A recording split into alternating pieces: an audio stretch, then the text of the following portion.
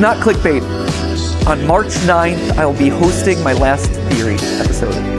At which point, I'll be handing off the channels to someone else.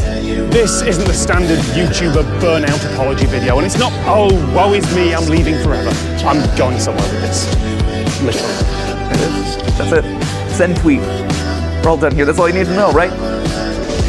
Oh, wow.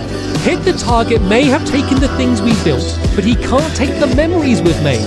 In a way, we've both grown up together in this place, and we've changed in that time.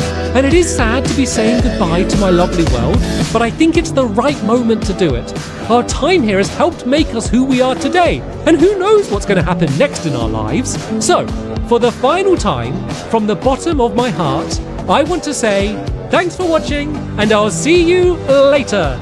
But the first of them was published exactly 10 years before this one, to the minute, 4 pm, January the 1st, 2014. I know how to make fast paced, super excitable, highly edited videos, but that's just not me anymore. I don't enjoy that. If I did do it, it just wouldn't be genuine, and then what's the point? What's also important is you guys aren't kids anymore. I did think that I should end this with a big, syrupy, sentimental, self indulgent montage and head off into the sunset. And you know what? Just this once, for the first time in 10 years, that's exactly what I'm going to do. I wanted to bring it back to just us. There, there's no one else in the room, there's no helicopters, there's no nothing. It's just, just the way that this whole thing started. Everyone! It's a conversation between us. Diamond Minecart, welcome back to another Minecraft mod review. And I'm gonna miss you.